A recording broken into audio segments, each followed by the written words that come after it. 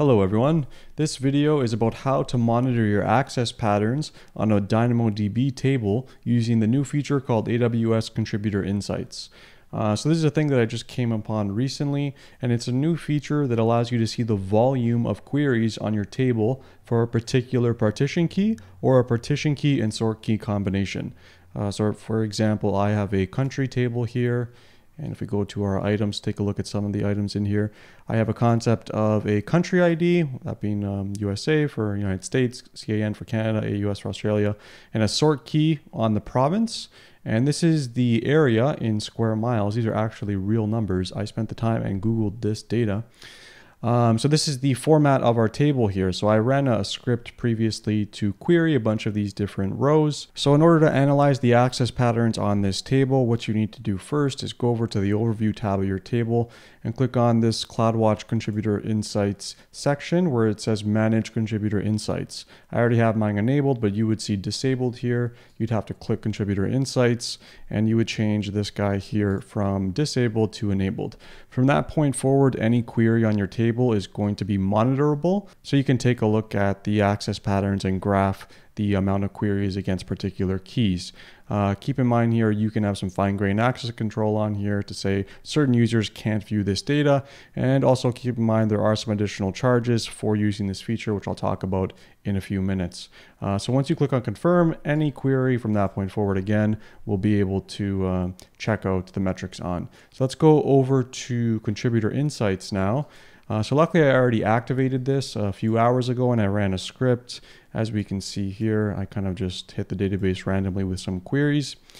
And if we look a little closer here, what's going on? So we have most access items, partition key only. Uh, and this one is most access items, partition key plus sort key. Uh, let's talk about the top two first. Uh, so in this graph, we have our three partition keys, Canada, USA, and Australia. Uh, and we can see here over time the traffic was shifting, right? So at this spike here, we had uh, what 206 it said. Yeah, oh, there we go. 206 queries for Canada, 79 for Australia, and 29 for the US. And this kind of obviously shifted over time. Uh, since I wasn't doing any queries for a particular sort key, this graph is going to be blank. But if your query pattern uses the sort key, it would show the data there. And you'd see the combination of the partition key and sort key. Um, so for instance, Canada and Ontario for the province uh, or USA and Texas. Uh, if you were querying on those types of keys, that would show up in this graph over here. Now down here is an interesting one as well. This shows the throttling. Uh, so this is throttling on the partition key. So this is kind of the comparator to the graph up here. And uh, same for this graph. This is for partition key and sort key throttles. Uh, so this also shows you which keys are getting throttled. And this is a pretty important graph for those of you that know anything about hotkeys in DynamoDB. Uh, this problem has gotten a little bit better in the past year with the addition of something called adaptive capacity. Uh, if you're more interested in that, you don't know what it is, go check out my video on DynamoDB schema design. I'll link it in the section below. Uh, but it's important that you maintain minimal throttling and design your table in a way such that you minimize throttling. Uh, and in this example, we can see here we have throttling across all our keys. In your example, in a real life one, uh, you may have one particular key that is getting absolutely hammered and queried on uh, at a very high rate. Uh, and that can result in throttling for other components of your table.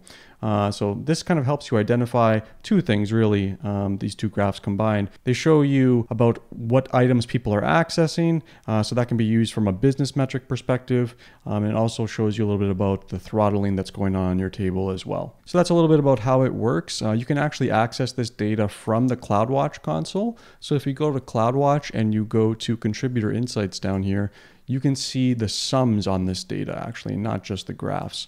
Uh, so these are the comparative, they're called rules. That's how this data is gathered. It's by analyzing log data. This is all happening behind the scenes. Uh, so DynamoDB Contributor Insights, PKC stands for Primary Key Count, I believe. So if we click on that graph, that's uh, what we had before. Uh, now here we can see more granular data here. So the count within a specific time frame. You can also like zoom in here and see particular ranges. So if you want to cut your data in a specific way to look at it, um, you can you can do so. Uh, so that's a little bit about how this works. Also the same thing for the throttling like we saw um, for the sort key, which we don't have in this example, and sort key throttling as well, which we also don't have. Um, in terms of pricing, this is an additional charge, like I said. The free tier comes in at one contributor rule per month. If you enable this on a table, you by default get four rules. So this will be multiplied by four in terms of your usage. And the first million log events that match the rule, uh, that becomes absolutely free for you.